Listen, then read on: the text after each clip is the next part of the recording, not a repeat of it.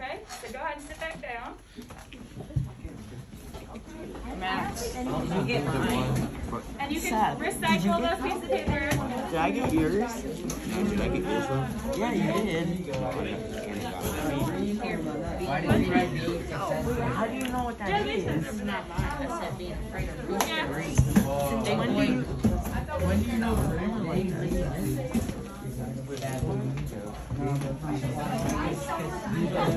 Mine was being burned alive. Yeah, I know that was I was being attacked by a big I'm gonna take your job. This is a good one though. The one I got, becoming a failure. That's a good one. Is? Well, not good. so Yeah. we just talked about what each one of our peers are, and we can see that maybe yours don't relate to mine, but you do relate to some of your classmates. So how would you help them push past it?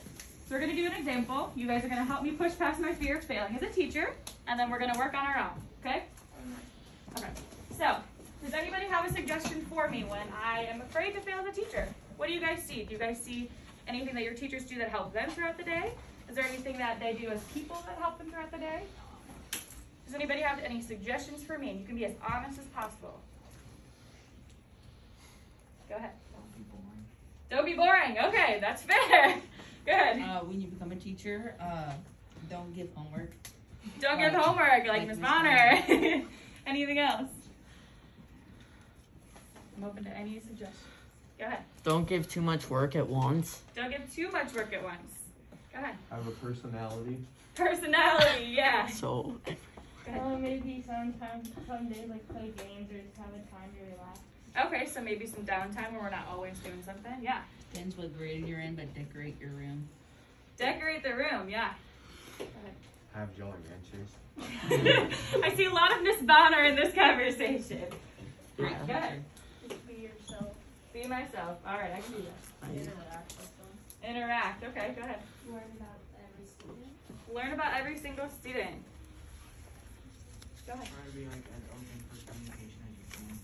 Okay, so being kind of flexible, maybe. Okay. Anything else?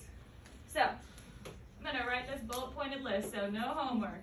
I think that's like number one. Do you guys agree? Not being boring. All right, and then having a personality. I think Jolly Ranchers was in there.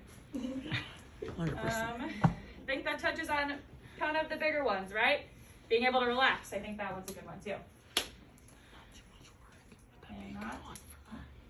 Because I said I didn't know if that was a good one though. All right. So these are some of the things that I can start working on as a future teacher, and that it's going to help me push past my fear of failing you guys. So what you guys are going to do is you guys are going to pick one of those fears that you guys either heard of or the one that you picked up, and you guys are going to work on pushing past their fear for them. Some suggestions that you can give that person. Okay.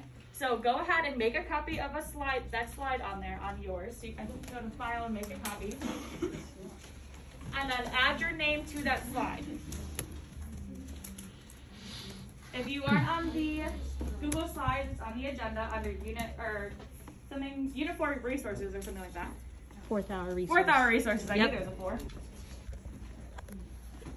Okay. Give me a thumbs up once you've created a new slide and you're good to start So you're gonna make a new slide, like how Miss Bar made a slide with her name, you're gonna make a slide with your name. And then just write our fear. You don't need to make a whole copy of the whole entire presentation. Just one. Yeah. Okay, yep, just I one. did that last time on accident. Yeah. Is it on this document? Go ahead and help your friends if they can't pull it up. I didn't mean to. And- I have two accounts on my